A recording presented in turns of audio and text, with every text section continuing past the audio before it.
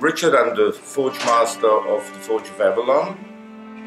Forge of Avalon is, as it says, under the shadow of Glastonbury Tor. Uh, moved my business about six years ago from the old location under the Austrian mountains to this very location under the shadow of Glastonbury Tor, Somerset.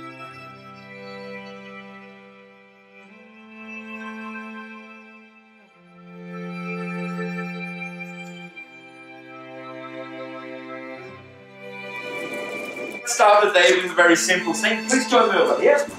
A backblast forge, basically the full view we use is code. We say the aim is to show people the reality behind blacksmith, more than what they've actually seen on Italian films.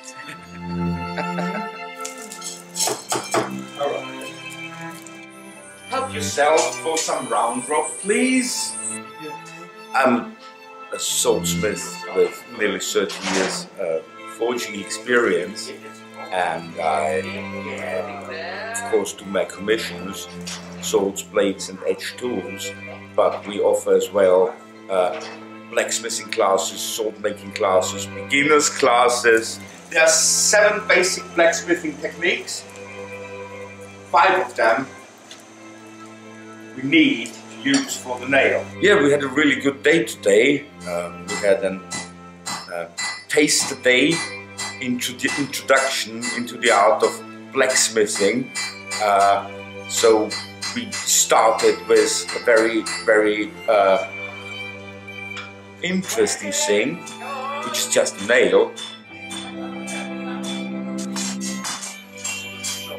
Light now for the red. Yes.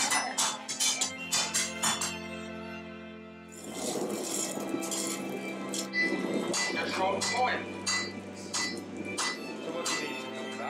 then we did uh, a bit of more elaborate uh, fire poker just to show uh, the first basic steps into traditional blacksmithing.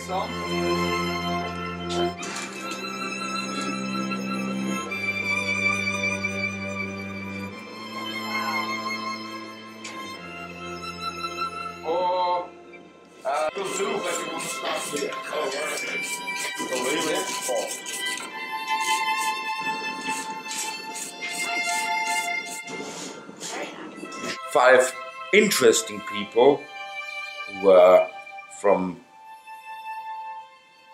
quite interesting backgrounds and they never forged before.